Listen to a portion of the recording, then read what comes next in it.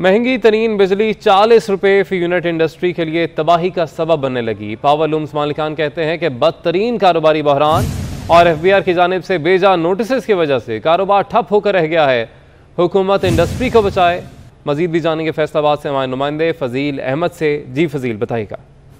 बिल्कुल, फैसलाबाद में power loom फैक्ट्रियाँ जो हैं, वो तबाह तबाही के दाने पर पहुँच चुकी हैं। पावर लूम मालकान की जानब से तहफ़ात का इजहार किया जा रहा है कि बिजली के महँगे यूनिट्स और एफ़ बी आर की जानब से बेजा नोटिस की वजह से पावर लूम मालकान जो हैं, वो परेशानी का शिकार हैं और कारोबार जो हैं, वो तबाह हो रहे हैं। Power loom council of power loom owners association के चेयरमैन वहीद खालिक राम मेरे साथ मौजूद हैं, उनसे पूछते हैं क्या कहते हैं? साहब देखिए, आप चूँकि इंडस्ट्रियल एरिया में मतवा मुतातर आते हैं। आपने कभी इतनी ज़्यादा यहाँ के ऊपर वीरानी नहीं देखी होगी, फैक्ट्रियाँ बंद नहीं देखी होंगी वर्कर्स जो हैं यहाँ चौकों में बैठे हैं, फैक्ट्रियों को ताले लग रहे हैं।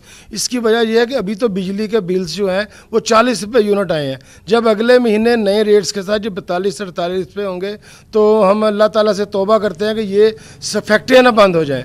वर्कर्स जो है, वो बेरोज़गार हो जाएगा। ऊपर से करोड़ों करोड़ों रुपयों के एफबीआर ने हमें नोटिस भेजना शुरू कर दिए तो इन हालात में काम चलना नामुमकिन नामुमकिन सा होता जा रहा है। लिहाजा हुकूमत को चाहिए कि इस तबाह होती इंडस्ट्री को सहारा दिया जाए पावरलूम सेक्टर को बचाने के लिए इकदाम किए जाएँ ताकि ये कारोबार भी चल मजदूर इससे जो जुड़ा है उसका रोज़गार भी चलता रहे। बहुत शुक्रिया आपने अपडेट किया।